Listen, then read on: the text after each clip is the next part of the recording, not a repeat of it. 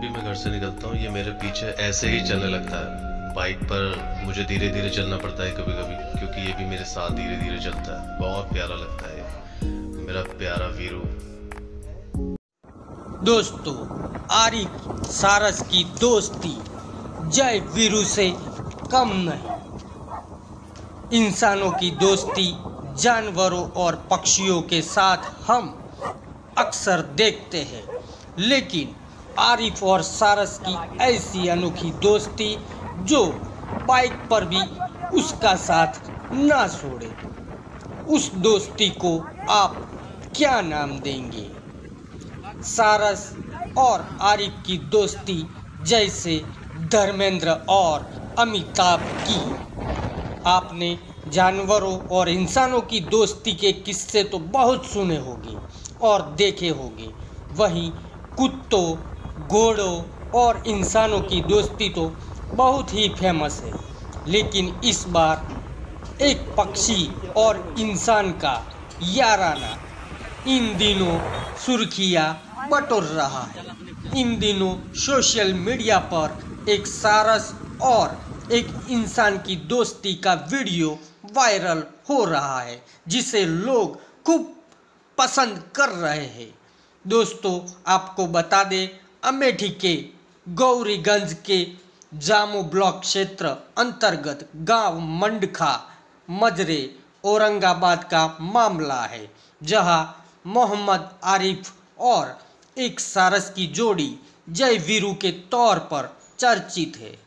एक साल पहले खेतों में यह पक्षी घायल अवस्था में मिला, जिसका पैर टूटा हुआ था।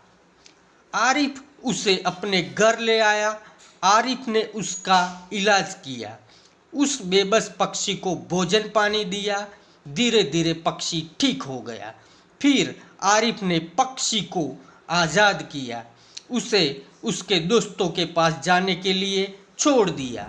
लेकिन पक्षी ठीक होने के बाद जंगल की ओर जाने के बजाय आरिफ के संग रहने लगा। आरिफ बाइक से कहीं भी जाते हैं तो वह सारस उनके ऊपर हवा में उड़ता रहता है। अभी हैंडशेक हो रहा है और हैंडशेक होने के बाद अभी भाई मुलाकात होगी। देखो कितना भीड़ है भाई, इतना मतलब बवाल। एकदम भाई बवाल है तो अरे भाई, अभी यहाँ पर उस सारस पक्षी को अभी निकालने वाले हैं, जो कि यहाँ पर रख रखा है, जो कि अंदर। तो अरे भाई, निकालने वाले हैं। यहाँ पर आप भाई, यहाँ पर आप देख सकते हो, ये हरी भाई से निकाल रहे हैं। आप देख सकते हो। भाई चलो चलो भाई, इसके अंदर यहाँ पर कैद करके रखा है कि कोई जानवर या पशु इसको छेड़खानी ना करे तो यहाँ पर बाहर आ रहा है। और ये भाई, आप देख सकते हो, शारस की कुछ इस प्रकार से एंट्री होती है, आप देख सकते हैं।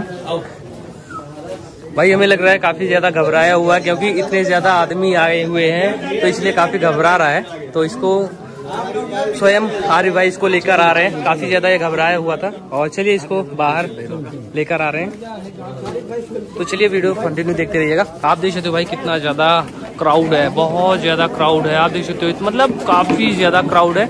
और इतनी ज़्यादा भीड़ भाई आपने कभी नहीं देखी होगी। आज के दिन काफ़ी ज़्यादा भीड़ क्योंकि था होली, और लोगों ने सोचा कि होली के नेक्स्ट दिन हम लोग सेलिब्रेट करें।